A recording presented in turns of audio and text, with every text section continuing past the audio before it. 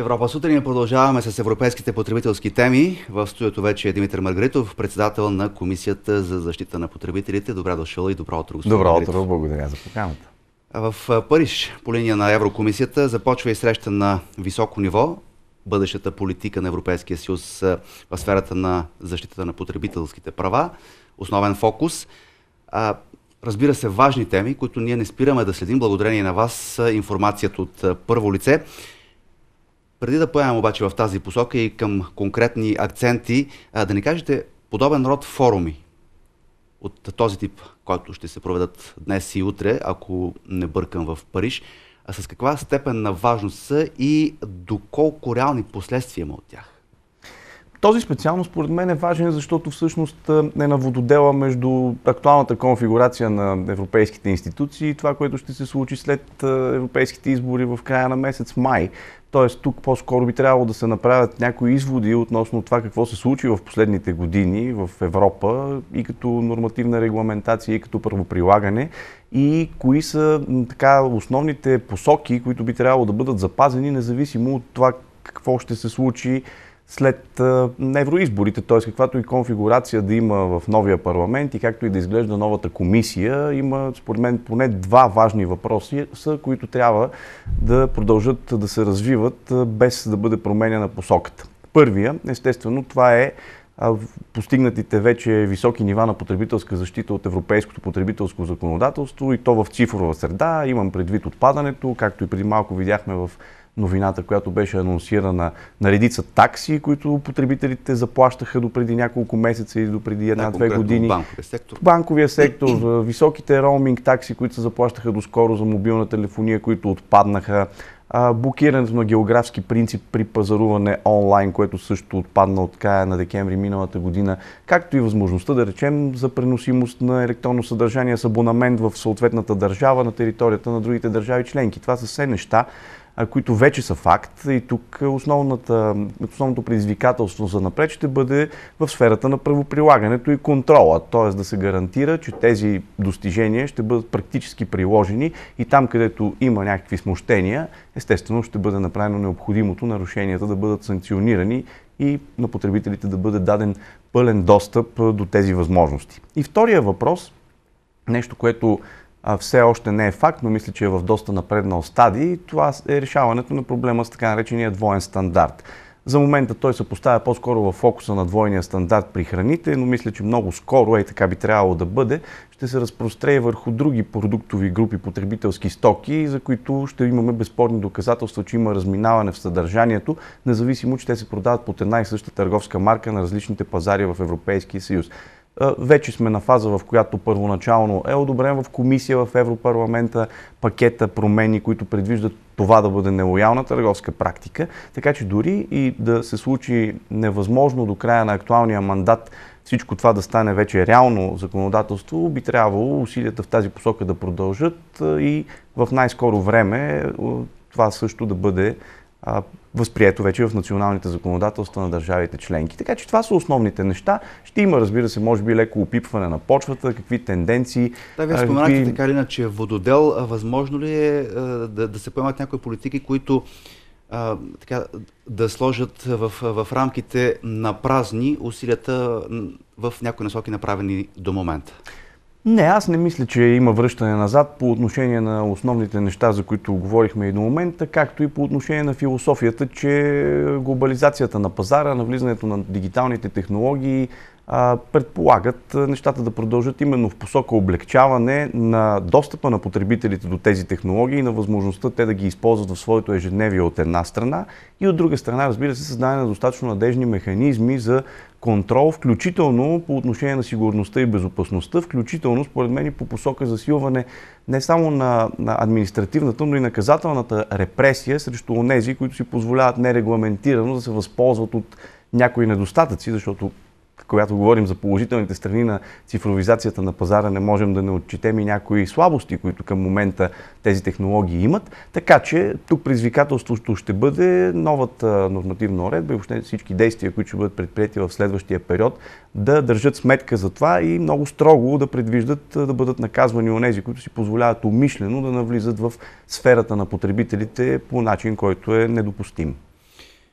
На 15 март, Международния ден на потребителите, тогава в студиото ни гостува вашият колега Игнат Арсенов от Европейския потребителски център. Разбрахме, че фокусът тази година като цяло е насочен върху надежните смарт продукти.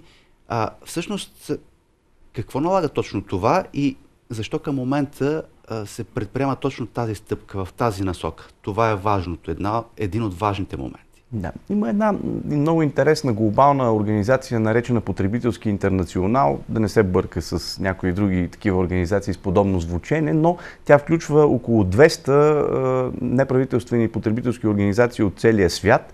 И въпросната организация е направила проучване, според което в момента в света има 23 милиарда смарт устройства, ако можем така да генерализираме понятието с всички разновидности на потребителските стоки, влизащи в рамките на, на, на това понятие. Това е три пъти повече от населението на света. Освен това, се очаква до 2025 година този брой да се отруи, т.е. да стане около 70 милиарда. И виждаме, че тук просто наистина стремглаво, шеметно се развива очевидно потреблението на посредством такъв тип стоки. Това е накарало тази организация да възприеме като мото за тази годишния Световен ден на потребителя на именно развитието на тези продукти. И тук не говорим само за това а, колко м- възможности те предоставят, а говорим и за това какви рискове се крие при тяхната експлоатация. Тоест... Да, вече, вече тук вече стигаме до вашето поле на действие.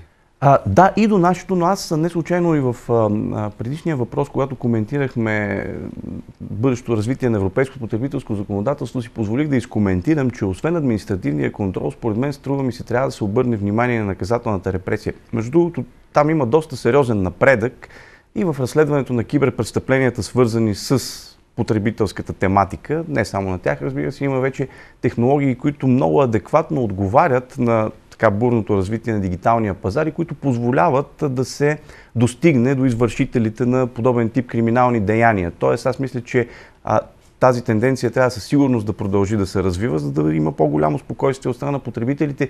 Не само, че административният контролен орган ще си свърши работата, когато санкционира търговеца, който е предложил даден продукт, пък да речем после той се е оказал с не такива технически характеристики, а че ако потребителя съзнателно е направил избор да предостави свои лични данни или част от тях за целта на експлоатация на тези устройства, но тези данни са използвани превратно, то този, който го е направил, тук не говорим вече за търговец, тук може да говорим за обикновен престъпник, ще получи своето наказание. Тоест ще имаме и промени по отношение политиката по налагането на санкции, така ли?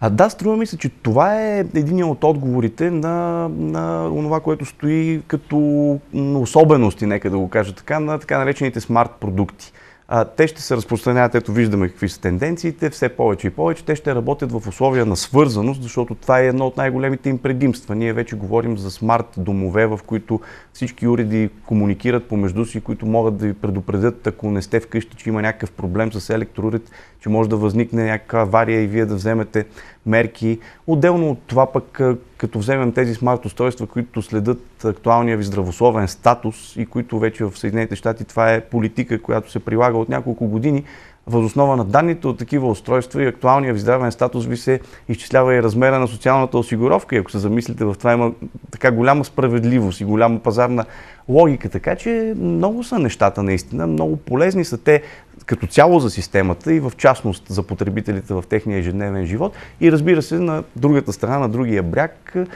съществуват рисковете, съществуват опасностите. Те са съществували винаги на пазара, независимо дали говорим за смарт или за конвенционални устройства. Винаги е имало и сигурно и за в бъдеще ще има нелоялни търговски практики, но адекватността и навременното противодействие на това, което а, новия жив живот извиква, трябва да бъдат на лице, за да може наистина институциите ефективно да си свършват работата. А възможно ли да се появят и нови изисквания по отношение съвместимостта на технологиите, както примерно стана с зарядните устройства и как това да бъде направено така, че да бъдат защитени интересите на потребителите, без да се нарушават и пазарните механизми?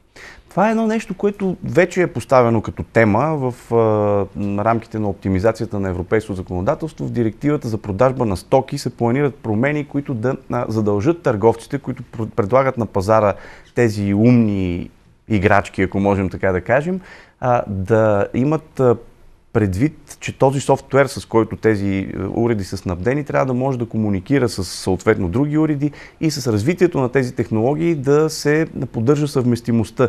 Т.е. да не ви се налага, образно казано, на всеки няколко месеца да си купувате ново устройство, защото вече няма да е съвместимо с новия ви телефон и така нататък. Тоест, държи се сметка за това и наистина логиката е такава. А, има и идеи за малко по-дълга законова гаранция вече, за да не става така, че както а, понякога имаше, мисля, че и в неправителствения сектор такива проучвания, се казва едва не експлуатационния живот на една стока е изчислен на база на нейния гаранционен срок. Еми дайте тогава да удължим гаранционния срок. Няма нищо по-разумно като решение от това, така че това също е нещо а, в посока на което се, според мен се предвижда да се случат някакви неща съвсем скоро. Съвместимостта, безопасността, сигурността и вече безспорните предимства на, на тези дигитални уреди и технологии, това е бъдещето в потреблението и съответно това трябва да бъде и бъдещата реакция в областта на потребителската защита. И финалът въпрос, който няма как да не ви задам. Сега около Брекзит не е ясно какво въобще ще се случва поне на този етап. Това ще доведе ли до промяна в сериозна посока по отношение на политиките за защита на потребителите? На първо място, ако все пак това се случи, ще доведе до там, че това европейско потребителско законодателство, за което ние до момента говорихме, няма да се прилага повече по този начин в Великобритания. Аз съм убеден обаче, че достиженията и основните принципи, до които се е достигнало, няма да бъдат пренебрегнати и за в бъдеще те също ще въжат на територията на Обединеното кралство. Въпросът е, че за българските потребители конкретно това може да има изражение в пазаруването онлайн основно и в правилата, които ще бъдат наложени по отношение на електронните магазини, от които ние бихме пазарували там. Съответно, ако Европейския потребителски център вече не функционира в Лондон, то тогава и при решаването на потребителските спорове може да стане малко по-трудничко, защото сега знаете, че това взаимодействие играе основна роля при трансгранични спорове и много често води до тяхното положително за потребителите разрешаване. Аз все пак обаче си мисля, че не случайно може би и нещата се забавят. Въпросът е да бъде намерен наистина прагматичния, разумния подход, при който струва ми се, че няма да има някакво сериозно негативно отражение върху потребителските права и върху резултатите за, конкретно за хората в качеството им на ежедневно пазаруващи а, във връзка с, с това събитие. Благодаря ви. Благодаря. Димитър Маргаритов, председател на Комисията за защита на потребителите, гост в Европа сутрин.